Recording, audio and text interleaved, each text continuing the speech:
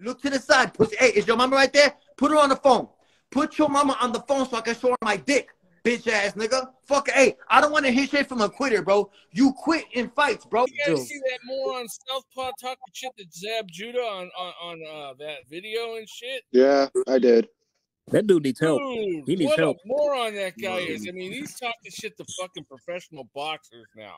Bro, he gonna get a hit put out on his ass. Why? Bro, the only reason, listen, man, the only reason he do that is because there ain't nobody around him. Like I told y'all, like that dude is not in Gen Pop, bro. You in solitary with a video phone, bro.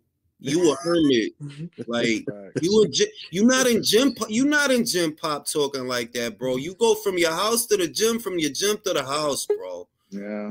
He wouldn't be oh. talking like that if he was in a homeless oh, shelter. I've been said that, like, yo, dog, if you really in Shot Town and you really in Chicago, bro, you would have been murked by now, bro.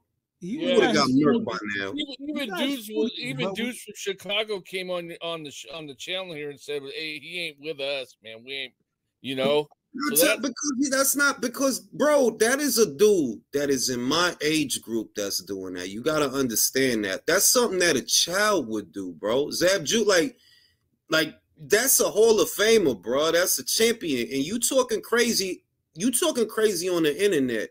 You hmm. wouldn't do that. You wouldn't do that to him up front because Zab would stretch his he, shit. he told Zab him to go get his mom Jackson and put his fuck out, dog. He he told him to put his mom on the phone and show her his dick, and he Yeah. called him a and then he called him a quitter.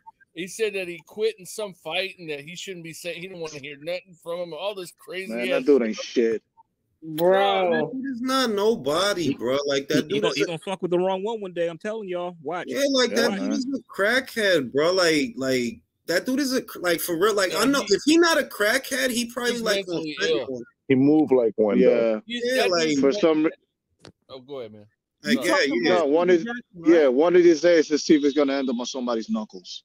yeah, like, like, bro, like that, like, bro, that dude has got to be like forty or forty-five or what, and you doing that little young ass shit. It's like, bro, like, come on, be like, who are you talking about? Steven Jackson, right? nah, that that, that Southpaw guy that he was talking crazy to Zab, bro. Yeah. He's talking, he's talking some wild shit. And it's like, Oh. But, but you know what? It's some little, him, but bro, it's some little. That's some little kid shit. Like, bro, you know damn good and well if you was in front of Zab, you're not going all that little It's child. just clout. It's just clout.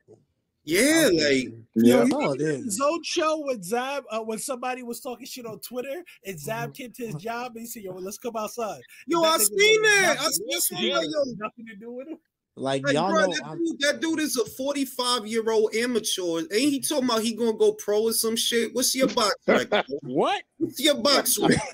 Let me look you up, bro. Man, Cam Austin will just smack him. y'all Anyway, know. anyway, anyway, enough, enough about that Jules. fucking weirdo. Let's Yeah. on.